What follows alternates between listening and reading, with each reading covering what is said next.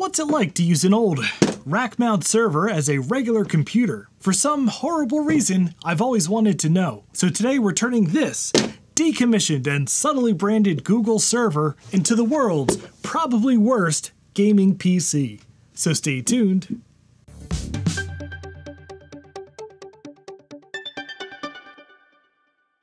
And if you enjoy repurposing e-waste in hilariously terrible ways, I hope you'll consider subscribing to the channel. This bright yellow monstrosity is an old decommissioned Google search appliance. In our last video on this thing, we took it apart, laughed at its hilariously yellow Google Paint job, and basically just goofed around with it. Well today, we're done goofing off. It's time to put this thing to serious use. I mean, inside it's basically just a really powerful but relatively normal Intel based computer, but there are a few things that stand in the way of just plugging a monitor into this thing and using it. First of all, it has incredibly loud fans.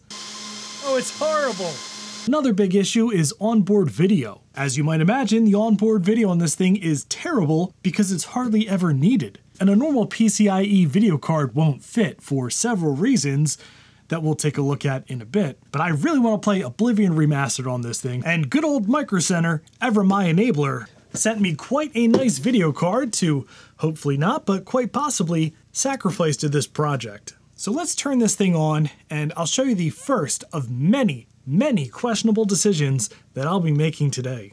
Right after this word about today's incredibly relevant sponsor, yeah, you guessed it, Micro Center.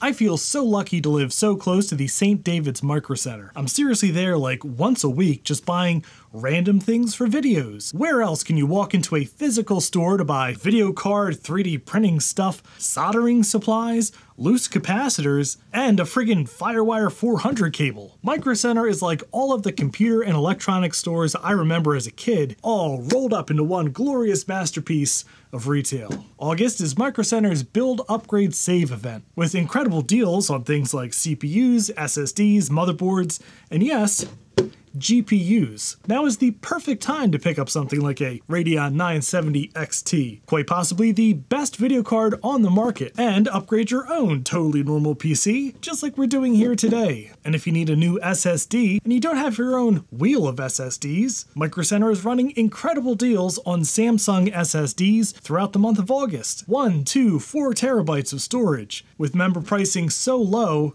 you actually have to be logged in to see it. Plus, Phoenix, Arizona is finally getting their own Micro Center. Those looking to get VIP deals should sign up for a free 128GB flash drive when the store opens. So thank you so much Micro Center for once again believing in these kinds of shenanigans and sponsoring today's video. I am such a big fan and working with you has always been an absolute dream. For today's festivities, I've taken out all of my finest jank a monitor from Sun Microsystems, a PlayStation 2 USB keyboard, and of course, the hamster mouse. So let's apply power and see just how loud this thing is, even with the cover on.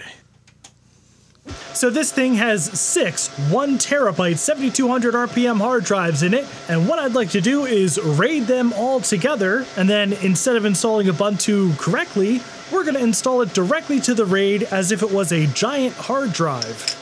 So we'll choose RAID 5. All right, that gives us four and a half terabytes. And let's boot this off of the Ubuntu installer.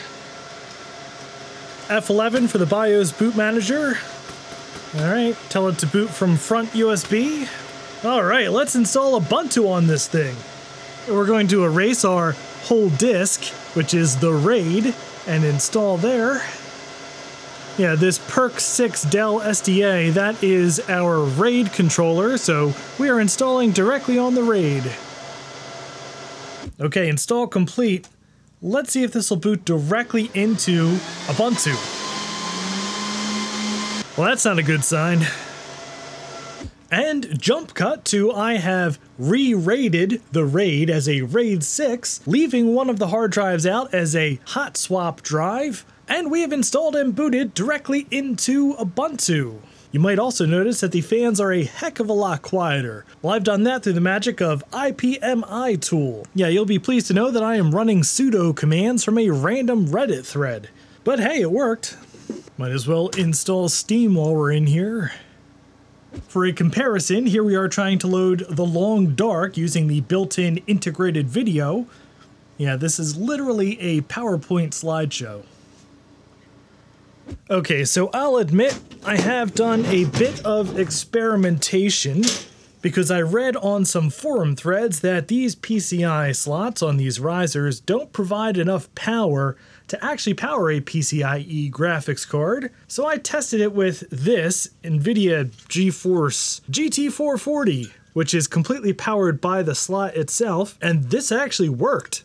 So we know that this is possible. So issue number one, solved. Let me pop one of these risers out though, and I can show you issue number two. These are 8x PCI slots, and there are two of them, but they end. You cannot just stick a regular PCI card in there because it's blocked by the end of the slot. Now, some people actually just melt or cut the end of the slot off, stick the card in, and it does work. But then that brings you to issue number three. If a card is too tall, it's not going to fit with the case closed. If we try to put something like this in there, yeah, obviously it's not going to work. But through the clever use of a cheap Amazon purchase, I have solved both of those issues. This is a riser to go from 8x to 16x. Plugs in there no problem. And then our graphics card happily slots on top. But what about closing the case? You all yelled at me about that last time. Well, don't worry. That's not an issue. The riser cable actually fits through this hole. Check this out.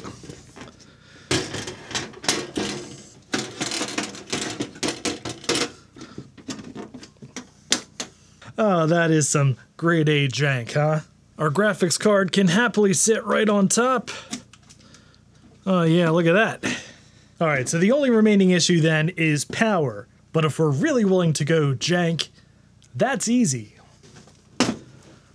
Now I will note that it is technically possible to splice into the power supplies in this server because those are 850 watt power supplies, but I'm not quite sure about the headroom and uh, this just feels a lot safer.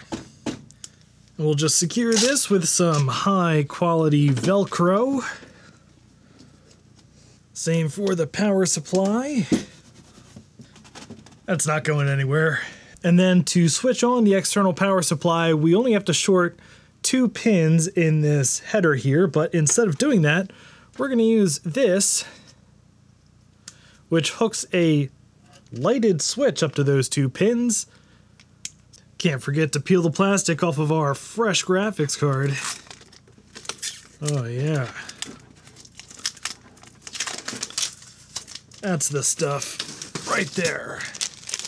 You know, I think this setup is now too cursed for the hamster mouse. We need to find a more cursed mouse.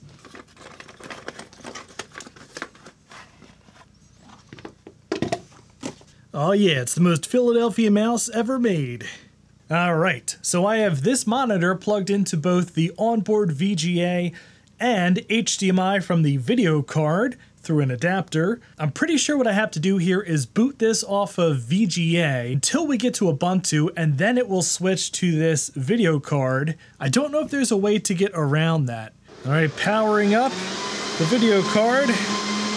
It's spinning. All right, Ubuntu is booting. Let's see what's on the other display. Oh yeah, there we go. We're on DVI-D. This is coming out of the video card. oh, it's so stupid. And now that we're in the desktop, our script has quieted down the fans, and NeoFetch shows us we are indeed using the RX 9070 XT. And yeah, the screen is very responsive now. And if we switch the inputs now, we have actually two desktops, one on VGA and one on our new video card. Oh yeah, check out that difference. I do believe we have ourselves a gaming computer here. Of course, we are totally wasting this excellent video card by plugging it into a times 8 slot, but we're gaming on the server. I can't help but notice one of the hard drives in the RAID is blinking yellow instead of green, so I'm just to ignore that. Alright, will this run Oblivion Remastered under Steam Proton? I mean, I've been playing this game on my freaking Steam Deck. I don't see why it wouldn't work on this dual Xeon 48 gigs of RAM monstrosity. Oh, it runs it all right. Look at this.